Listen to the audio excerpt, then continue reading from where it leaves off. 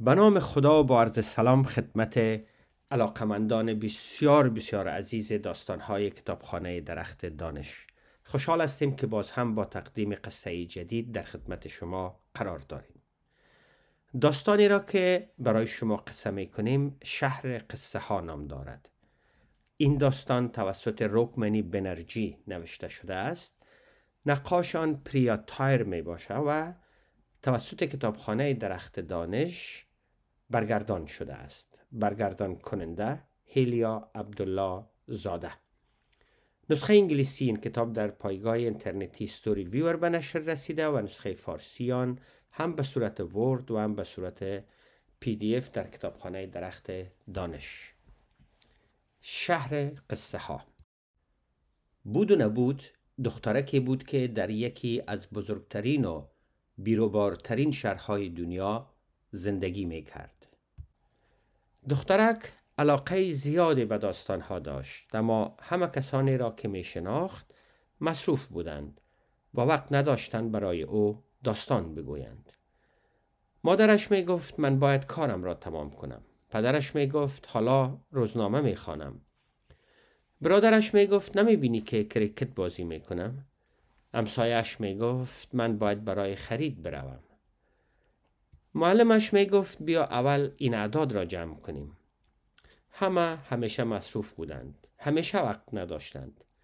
خیلی از آدم ها دائم خسته و عصبانی بودند و اصلا وقتی برای داستان ها نداشتند.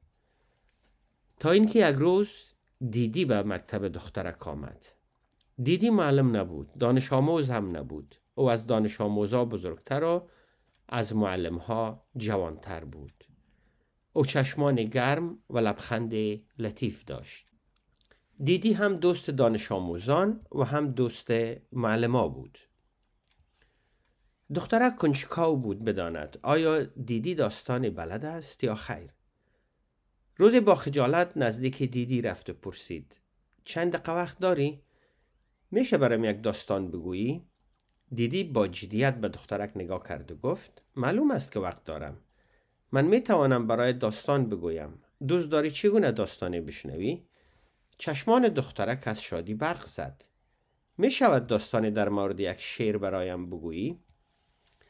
دیدی روی برنده مکتب نشست و شروع به قصه گفتن برای دخترک کرد. قصه او در مورد یک شیر کوچک بود که در جنگل گم شده بود.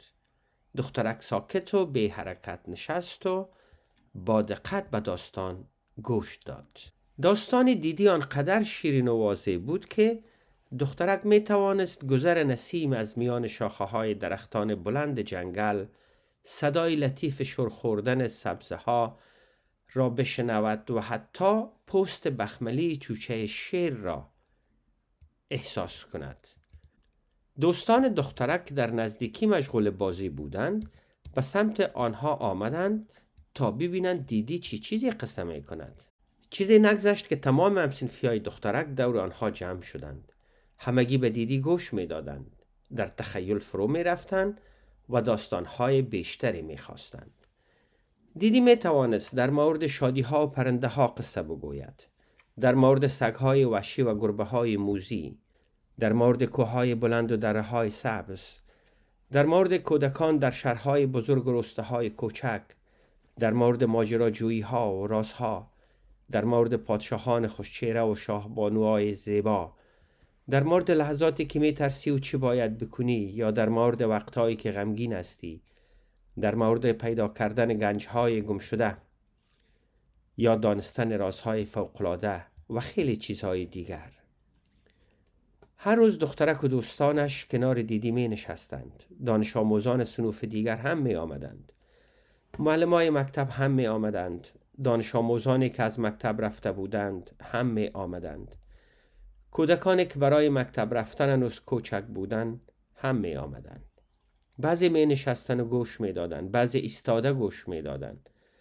کودکان روی شکمایشان دراز می کشیدند. صورتشان را روی دست خود می گرفتن و گوش می کردند. همانطور که گوش می دادن یاد می گرفتند که چگونه برای یک دیگر خود قصه بگویند. آنها یاد گرفتند که چگونه قصه بسازند چگونه داستانها را بچرخانند؟ چطور داستانها را پردازش بدهند؟ چگونه داستان بسازند و آن را مثل گودی پران در آسمان به پرواز در بیاورند؟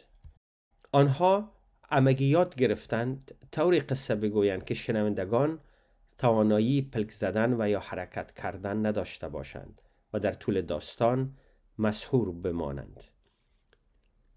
آهسته آهسته از طریق دیدی دخترک و کودکان داستانها در سراسر شهر پخش شد. مردم شروع به قصه گفتن و گوش دادن به داستانها کردند. مادرها کارشان را رها کردند پدرها روزنامه هاشان و معلمها کتاب های حسابشان را کنار گذاشتند. حتی همسایه ها هم برای خرید نرفتند. آنها شروع به قصه گفتن کردند. برادرهای بزرگتر دیگر کریکت بازی نمی کردند و خواهرهای کوچکتر تناب بازی را رها کردند. آنها قصه گوش می کردند سمبوسه فروش دیگر سمبوسه نمی فروخت شیر فروش دیگر شیر نمی فروخت ترکاری فروش هم دیگر ترکاری نمی فروخت همه به قصه های یک دیگر گوش می دادند. راننده سرویس سرویس خود را رها کرده و آمد که به داستان ها گوش بدهد. نگران سرویس کیسه پول و تکت هایش را درون سرویس فراموش کرد چون می‌خواست به سرعت داستانش را برای مسافران تعریف کند. متروها دیگر در شهر حرکت نمی کردند زیرا راننده ها مشغول داستان ها بودند.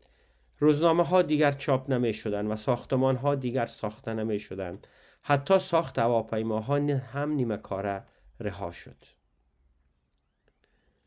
هیچ رستوران غذای لذیذ طبخ نمی کرد هیچ ماهیگیری برای گرفتن ماهی نمی رفت دیگر هیچ کس حاضر به انجام هیچ کار جز گفتن و شنیدن قصه نبود. نامرسان ها نامه ها را نمی رساندند چون سرگرم داستان ها بودند.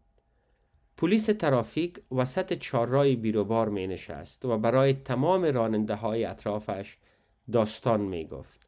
تمام تلویزیون های شهر خاموش بودند زیرا مردم تنها به قصه گوش می دادند. تمام شهر متوقف شده بود. این موضوع شهردار را بسیار نگران کرد. شهردار همانطور که در اتاق بزرگ ویلای کنار دریایش تن تن بالا و پایین می رفت از شورای شهرداری پرسید حالا باید چه کار کنیم دیگر هیچ کس کار نمی کند و هیچ اتفاقی در شهر نمی افتد شورای شهرداری با تمام توان مشغول برنامه ریزی بودند اما ثمری نداشت هیچ کس گوش نمی‌داد. بالاخره دیدی و دخترک به ویلای شهردار در کنار دریا فراخوانده شدند.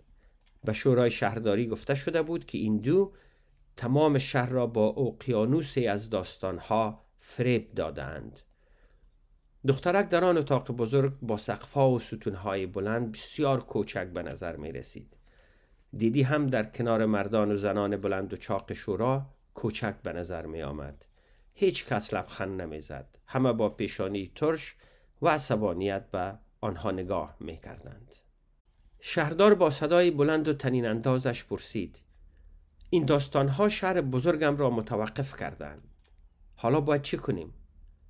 در اتاق سکوت حکم فرما شد تنها صدایی که شنیده می شد زمزمه داستانی بود که باغبان شهردار برای محافظ او تعریف می کرد دخترک دست دیدی را محکمتر از قبل گرفت. دیدی مستقیم به شهردار نگاه کرد. صدای دیدی بلند نبود ولی بسیار صاف شنیده می شد. او گفت بگذارید یک داستان برای صبحها و یک داستان برای اطرا باقی بماند. این گونه همه در هر کجا داستانشان را دارند. اما می توانند در طول روز مشغول کاری باشند که انجام باید بدهند. شهردار گفت فکر خیلی خوبی است. شورای شهرداری کف زدند و مردان و زنان بلند و چاق لبخند زدند. دخترک دست دیدی را به آرامی رها کرد. تمام مردم شهر نفس عمیق کشیدند. از آن روز به بعد در شهر بزرگ یک داستان در روز و یک داستان قبل از خواب گفته می شود از آن روز به بعد شهر بزرگ و بیربار دخترک و دیدی را شر قصه ها می نامند. پایان داستان. تشکر دوستان عزیز از این که وقت گذاشتید. برای دسترسی به منابع باز و رایگان آموزشی می توانید به کتابخانه درخت دانش مراجعه کنید. www.ddl.af